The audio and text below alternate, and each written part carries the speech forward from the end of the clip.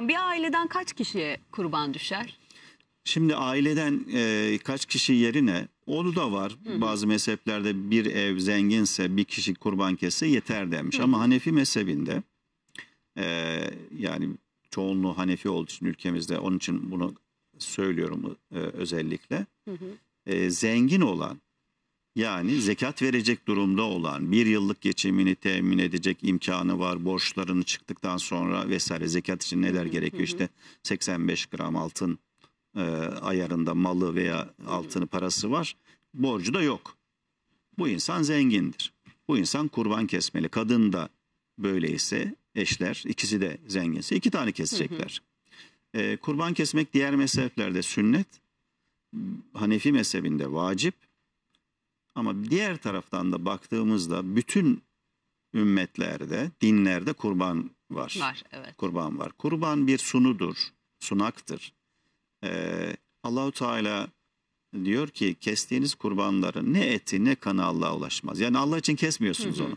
Sizin takvanız Allah'a ulaşır. Takva nedir? Haramdan sakınmak. Haramdan kurban kesince biz haramdan nasıl sakınıyoruz?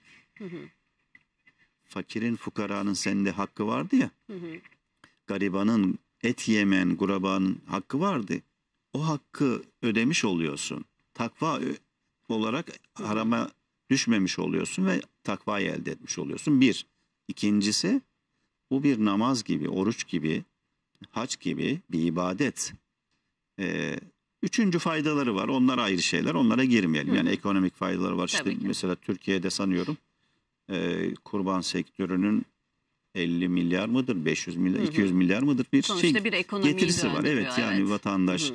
ki köy, tarım, ziraat hep bunlar İstihdam birbiriyle alakalı şeyler. Hı. Hayvan neslinin devamını belki sağlıyor. Aslında kesiyor görünüyorsun ama üretim Tabii daha ki çok devam artıyor. ediyor. Bu ayrıca faydası var. Ee, biz tabii e, iki bayramımız var bizim Müslümanlar olarak. Birisi Ramazan bayramı, Fıtır bayramı. Diğeri de Kurban bayramı. Kurban bayramı gelince e, Kurban bayramında bir gün öncesinden teşrik tekbirleriyle beraber zaten bayram ilan edilmiş oluyor Arefe günü. E, bayram günlerde teşrik günleri oluyor. Üçüncü e, gün e, ikindi vaktine kadar kurbanlarımızı kesebiliyoruz. O kurbanlar kesilebilir yani o süre içerisinde. Daha sonraya bırakmıyoruz. Yani kurban bayramının öncesinde veya sonrasında, Sonrasında kesilen kurban kurban olmaz. Esas eftal olan bayram namazı kılındıktan sonra kesebilmektir. Evet ivedilikle. Devam edeceğiz kurbanla ilgili detaylar ama müsaadeniz olursa bir telefonumuz var hocam Buyurun, sizin için. alalım. Gülbahar Hanım telefon, telefon attığımızda. Hoş geldiniz merhaba. Merhabalar. Buyurun efendim dinliyoruz sizi hocamla. Ee, efendim benim de ama ben üç buçuk ay önce yaklaşık eşimi kaybettim. Başınız sağ olsun. Eşim işe razı e, girdiği zamanlarda bir adak adamıştı. Ben tanışmadan önce açıkçası ödemiş, e, adamıştı Adamış. adağını. Aha. Fakat e, ömrü yetmedi işte vefat etti. Onun maaşı bana bağlandı. Eşim devlet memuruydu. Evet. Ben onu kesmek istiyorum ama nasıl keseceğimi sormasın. Hani hocam bayramda kesebilir miyim adak olduğu için. Tamam. Ee, peki bu adada hani nasıl dağıtabilirim? Mesela ben annemlerle artık şu anda eşimi kaybettiğimden dolayı. Ailemle ben de yiyebilir miyim? Onu Evet. öğrenmek Tamam. istiyorum. Başınız sağ olsun Allah rahmet etsin. Şimdi e, para bırakmışsa daha önce ölen biri işte eşine oğluna vasiyet etmişse o kurbanı kesmesi gerekir veya o haç olabilir bu başka bir sadaka olabilir onu vermesi gerekir. Dolayısıyla burada maaşını alıyor adak olduğunu biliyor. Adak e, şu işim olursa bir kurban keseceğim şeklinde ifade adak diyoruz buna. E, bu adaktan normal olarak anne babası, kendisi, eşi, çocukları yiyemez. Torunları yiyemez. Usul furu dediğimiz. Dolayısıyla bu adak kurbanını yiyemezler. Adak kurbanı normal kesilen kurbanlara ortak olarak kesilebilir mi? Hisse olarak kesilebilir. Yani e, ben bir kurban keseceğim bir de adak iki hisse katılabilirim. Adağı yemem dağıtırım. Fakire fukaraya Ha, dağıtması ama gerekir. aynı zamanda yani kurban bayramında kesilebilir. Kurban bayramında kesilir, hisselere de katılabilir. Hı hı. O 7 ortaklı, 5 ortaklı e, olan hisselere de katılabilir veya ortaklı olan tek başına da kesebilir. Ama o adağı yemeyecekler. Yer ise kendisi, annesi, eşi vesaire e, onun bedelini vermek zorundadır. Çünkü o artık elinden çıkan bir kurbandır. Başkasının hakkıdır. o şekilde kesilebilir ve e, inşallah adak da yerine gelmiş olur. İnşallah hiç unutmamış ve bunun aslında peşine düşmüş olması Tabii. bile ne kadar Kurban hoş günlerinde hanımefendi. kesilmesi daha doğru olur. Hocam ortaklı e, özellikle büyükbaş e, hayvanlarda orada ben şunu e, yani mesela diyelim 8 kişi e, ortak oldular. 8 olmaz. Olmaz mı? Tabii 7'ye Rakamı kadar. da mı? 7'ye kadar. 7'ye kadar. Büyükbaş hayvandı. Yani e, koyun keçi e, cinsinden bir kişi kesebilir bir tanesini. Sığırlarda e, ki buna manda da dahildir. Develerde bunda da 7 kişiye kadar olabilir. Bir kişi de keser isterse ama 7'ye kadar ortak olur. ama Orada sekiz hakkaniyetli dağıtım nasıl yapılıyor hocam? Kilo olarak mı yapılıyor? Çünkü herkes eşit para verdi Tabii. diyelim. Et etten e, Şöyle olması lazım. Ee, 7 kişinin tamamının da niyeti kurban kesmek olmalı. Siz ortaklarınızı tanımıyorsanız, ortaklarınızdan birinin e, niyeti kurbana inanmıyor. Sadece et hesaplı oluyor, taze oluyor. Ben de oradan alayım ise ki şimdi mesela çeşitli marketlerde şurada burada hiç kimse kimseyi tanımadan et pazarlığı üzerinden kurbana giriyorlar.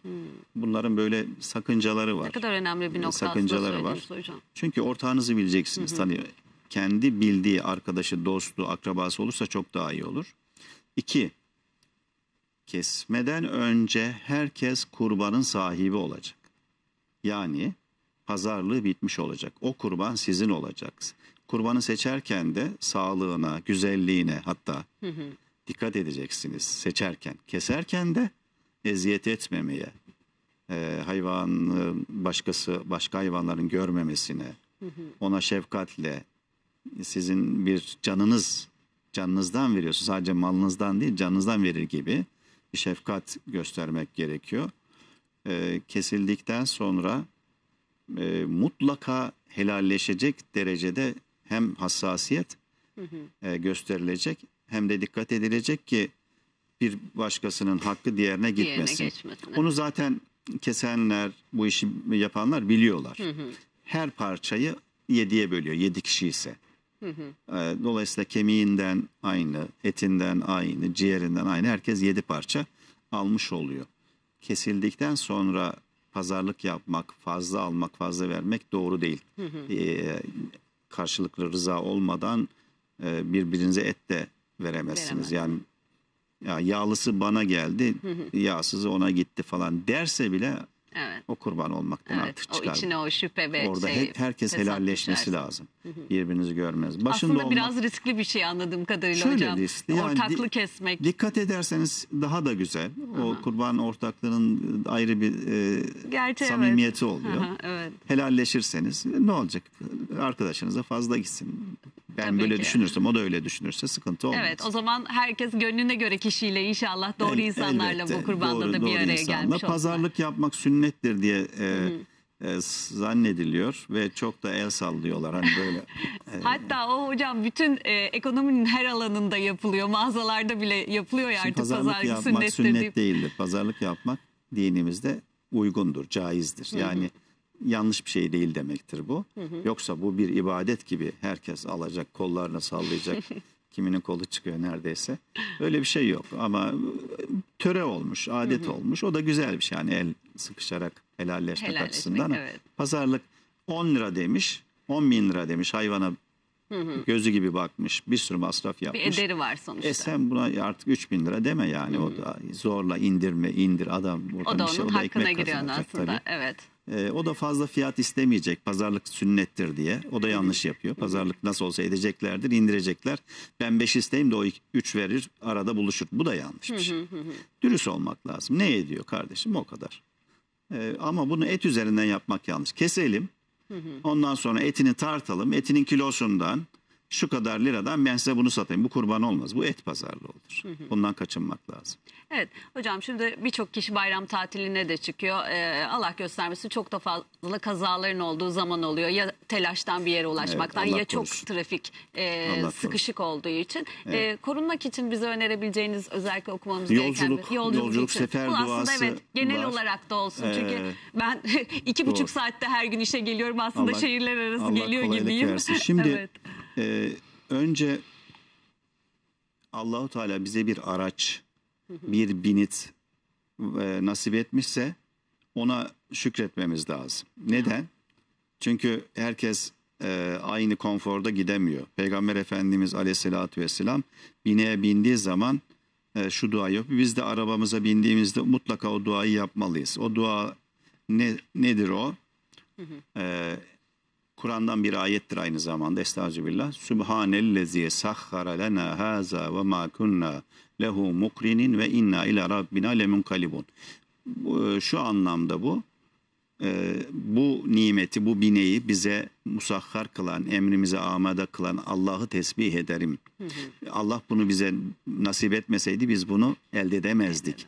Önce bu niyetle bine, bineğimize biniyoruz. Sonra da yola giderken Es-sefer kıtatun minel azab. Yolculuk azaptan bir parçadır. Başına ne geleceğini bilemezsin. Dolayısıyla dua et. Allah'a. Tedbirini al ama duanı da yap diye peygamberimiz şöyle dua etmiş. Kardeşlerimiz e, Türkçesini orada yazdılar. Ben de onun burada orijinalini söyleyeyim. Allahümme inni e'uzu bike min vasa'is sefer ve keabetil münkaleb vel cevri ba'del kevri ve davetil mazlumi ve su'il manzari fil ehli vel mali.